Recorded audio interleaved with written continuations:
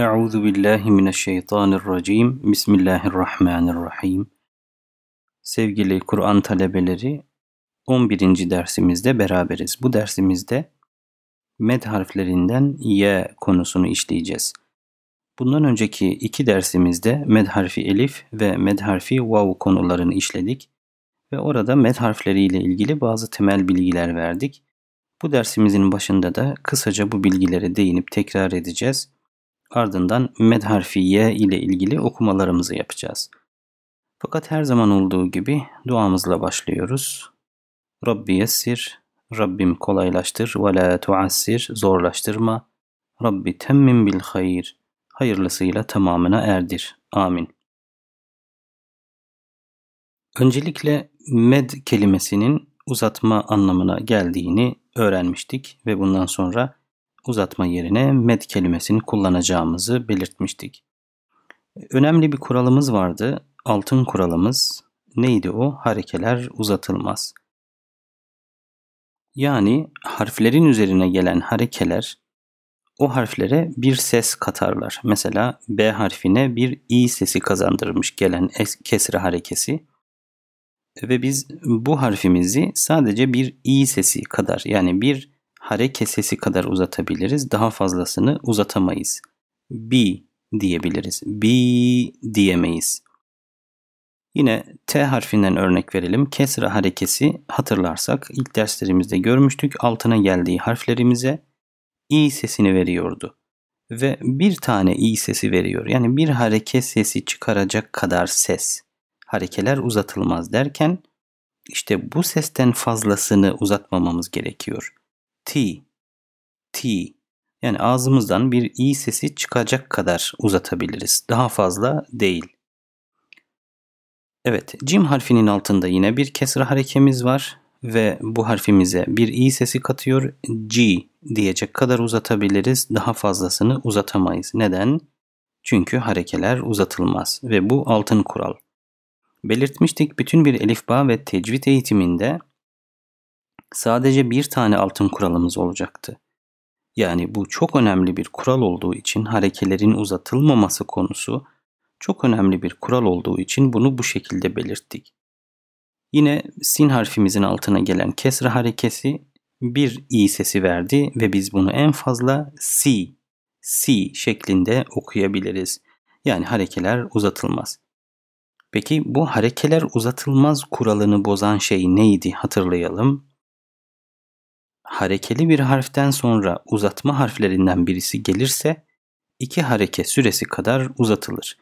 Konumuz olan mesela Y harfini örnek verelim. Buradaki B harfinden sonra kesre almış. B harfinden sonra gelen Y med harfi Y bu harekeye bir i sesi daha katıyor ve biz bunu bi şeklinde okuyoruz. Yani iki tane hareke sesi olmuş oluyor. Neden?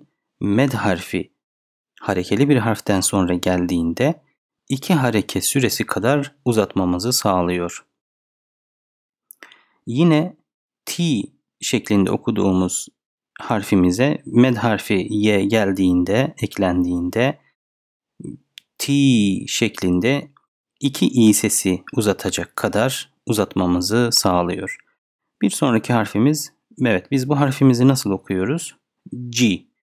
Ama kendisinden sonra bir med harfi geldiğinde ki hatırlayalım harflerin med harflerinin kendi cinsinden harekelerinin olduğundan bahsetmiştik önceki iki dersimizde.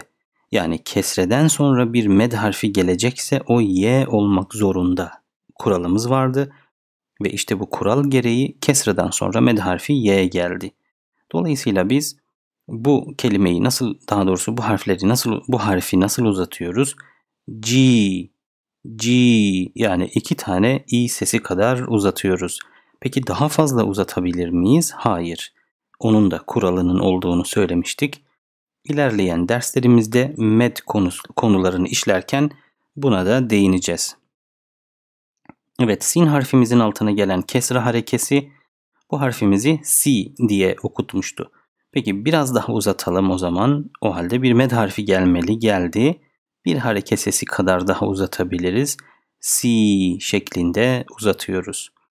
Şimdi notumuza bir bakalım. Dedik ki harekeli bir harften sonra uzatma harflerinden birisi gelirse dedik. Demek ki uzatma harfleri sadece Y harfi değildir. Hangileriydi? Önceki derslerimizde görmüştük. Bir tekrar etmiş olalım.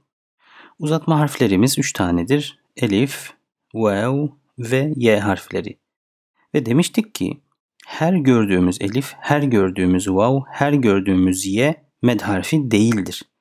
Med harfi olabilmeleri için yani uzatmaya yarayabilmeleri için kendilerinden önceki harekeli harfi uzatmaları için iki koşulu aynı anda, iki şartı aynı anda taşımaları gerekiyor. Bunlardan birincisi kendileri hareketsiz olmalı. İkincisi ise kendilerinden önceki harf harekeli olmalı dedik. Mesela buna bir örnek verelim. Örneklerle biraz daha pekiştirelim. Bu gelen kelimemizde ortadaki harfimiz elif. Bakalım bu bir med harfi midir? Kale kelimesinde kendisi hareketsiz mi elif? Evet. Kendisinden önceki harf harekeli mi? Evet. İki şartı da taşıdığı için bu harfimiz yani ortadaki elif med harfidir diyeceğiz. Med harfi olunca peki ne işe yarıyordu? Kendisinden önceki harfi uzatmaya yarıyordu. Ka, ka, kale şeklinde okuyoruz. Bir örnek daha verelim. Vav harfi gelsin şimdi. Evet, Yusufe kelimesinde yer alan med, e, vav e, bu harfimiz med harfi midir diye bir bakalım. Öncelikle kriterlerimize uyuyor mu? Birinci kriterimiz kendisi hareketsiz olmalı. Evet, hareketsiz. Peki kendisinden önceki harf harekeli mi? Evet. O halde iki şartı da taşıdığı için buradaki vav harfi de med harfidir diyoruz. Ve Yusufe, yu şeklinde y harfini uzatmaya yarıyor. Evet, bu örneğimizde hem vav hem de elif var. Yani ikisi de med harfi olabilir. Bakalım med harfi midir? Öncelikle vav'dan başlayalım. Vav harfine bakalım. Kendisi hareketsiz mi? Evet. Kendisinden sonraki harf harekeli mi? Evet. Bu iki şartı taşıdığı için vav harfi med harfidir diyoruz. Netekim hu hu diye uzatıyor. Dolayısıyla bu bir med harfidir diyoruz. Peki bu elif med harfi midir? Şimdi ona bakalım. Kendisi hareketsiz mi? Evet doğru.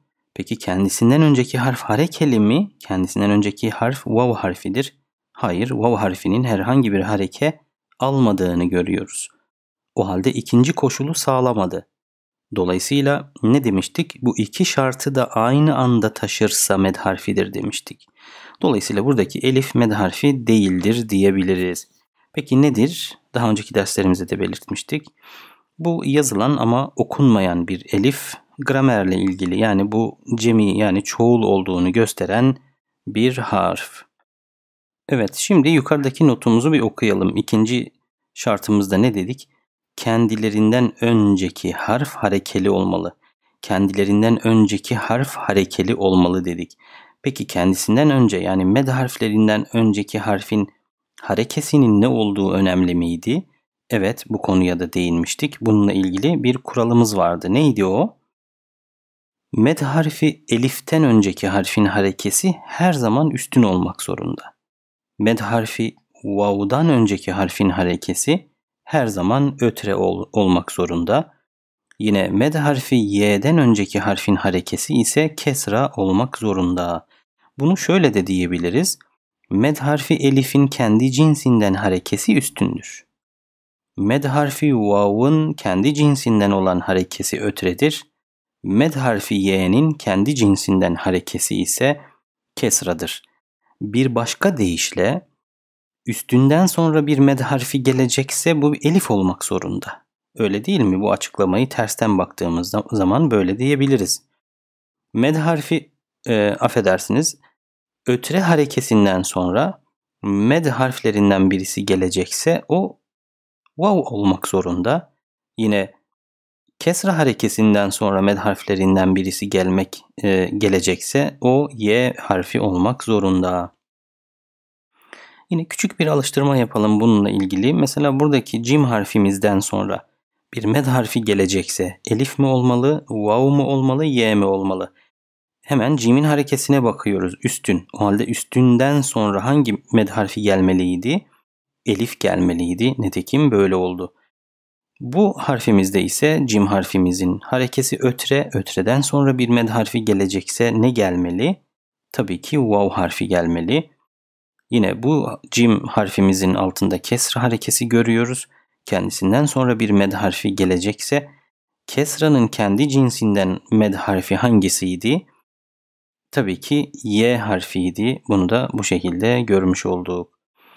Evet, e, uzatma birimlerine de değinmiştik önceki derslerimizde. Bu konuyu da bir tekrar edelim. Demiştik ki Kur'an öğreniminde uzatmanın ölçü birimi elif miktarı olarak adlandırılır. Yani bir elif miktarı uzatılacak, iki elif miktarı, dört elif miktarı gibi e, uzatmayı ölçü birimi olarak elif miktarı şeklinde ifade etmiştik. E, bir elif miktarının iki hareke sesi kadar e, bir süreden oluştuğunu da belirtmiştik. Şöyle ki örnek üzerinde gösterelim. Buradaki B harfimizin üzerinde bir hareke var ve sadece bir hareke kadar uzatabiliriz. B. Fakat harekeden sonra bir med harfi geldiğinde bir hareke sesi daha ilave edip iki hareke miktarı kadar uzatıyorduk. B şeklinde. Netekim bu üç dersimizde de med harflerini işlerken bu şekilde iki hareke sesi kadar uzatabileceğimizi görmüştük. İşte iki hareke miktarı uzatmaya da biz ne diyoruz? Bir elif miktarı diyoruz. Yani bir elif miktarı eşittir iki hareke miktarı. Şimdi med ile med harfleri ile ilgili temel e, teorik bilgileri hatırladıktan sonra şimdi med harfi y ile kelime okumalarına başlayalım.